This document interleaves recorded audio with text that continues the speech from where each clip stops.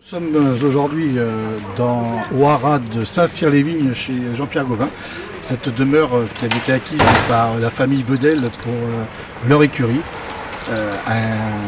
C'est vraiment une belle demeure avec des marcheurs en plein milieu et puis une activité très luxuriante puisque dimanche, Jean-Pierre Gauvin a présenté deux chevaux dans le groupe 1 à Paris le Grand Week-end de l'Arc. C'est une jeune saga bien sûr. Et tiens, coup bye bye qui va courir le Boussac. Jean-Pierre, merci de votre hospitalité. Euh, ça fait maintenant trois années que vous êtes toujours présent au, week-end de l'Arc. Trois années de suite au moins.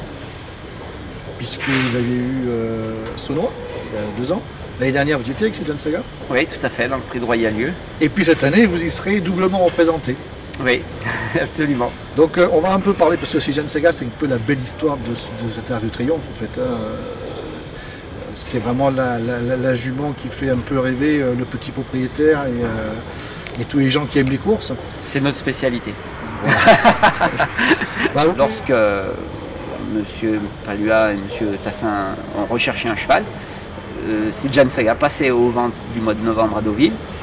Et je leur ai dit, bah, écoutez, vous avez été contraint avec Cataral, j'adore cette famille-là.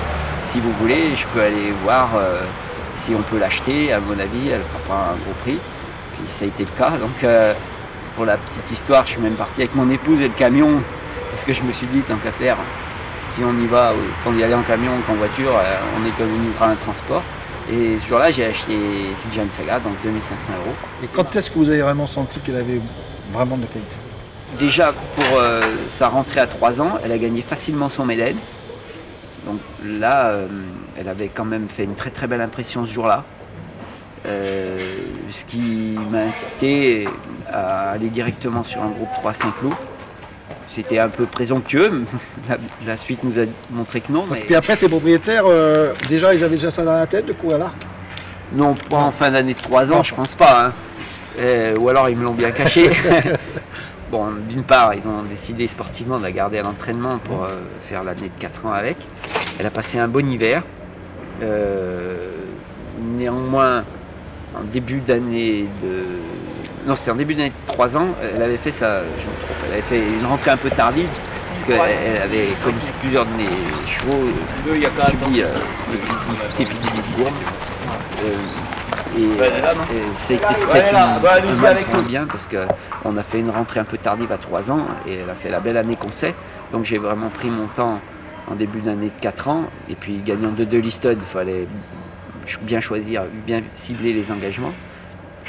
Donc euh, elle a fait sa rentrée dans le prix d'Anassa, une baie à Saint-Cloud où on voit souvent de bonnes pouliches rentrer. Là, de nouveau, une piste bonne en plus, une course sans train.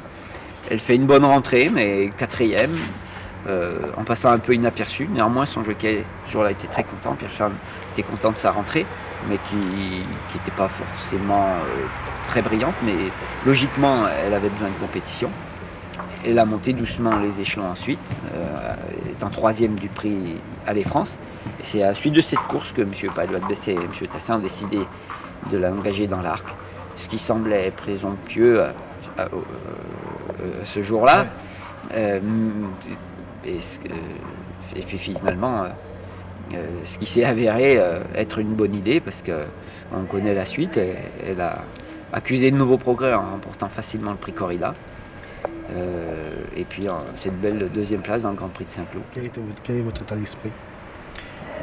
Pas, énormément de pression, je vous avoue, parce qu'on on a bien sûr le rôle du petit pousset dans cette épreuve et comme on s'achemine vers euh, un terrain qui ne va pas forcément lui convenir, on se dit que si par bonheur elle venait de faire quelque chose, ce serait que du bonus. Donc euh, voilà, on, y va sans pression. En tout cas, nous, euh, nous tout le groupe Paris Turf, on vous souhaite beaucoup de bonheur pour cette journée et puis on vous suivra comme on le fait d'habitude. Merci de votre disponibilité Jean-Pierre. De rien, c'est moi qui vous remercie.